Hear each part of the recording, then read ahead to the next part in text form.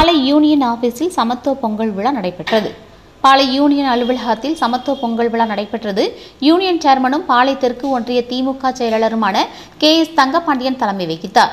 பிடிஓக்கள் பொன்ராஜ் பாலசுப்ரமணியன் ஆகியோர் முன்னிலை வகித்தனர். நிகழ்ச்சியில் ஊராட்சி ஒன்றிய அலுவலர்கள் பலரும் கலந்து கொண்டு சமத்துவ பொங்கலிட்டனர். தொடர்ந்து அனைவருக்கும் இனிப்புகள் வழங்கப்பட்டது.